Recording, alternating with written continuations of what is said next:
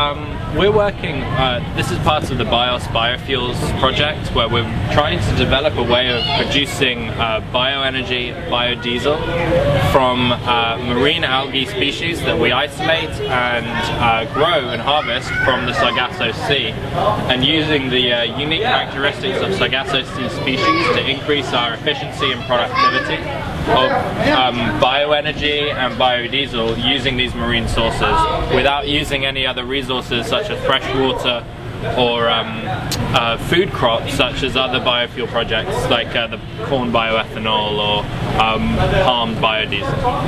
Uh, at the moment we're in the sort of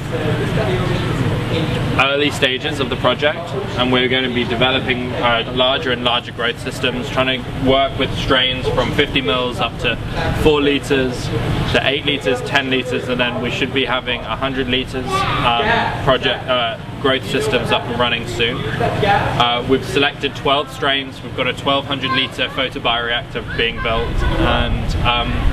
we think that by sort of 18 months we should have one of our teaching labs uh, electricity running off biofuels. So it's, it's early stages but it's a very exciting project.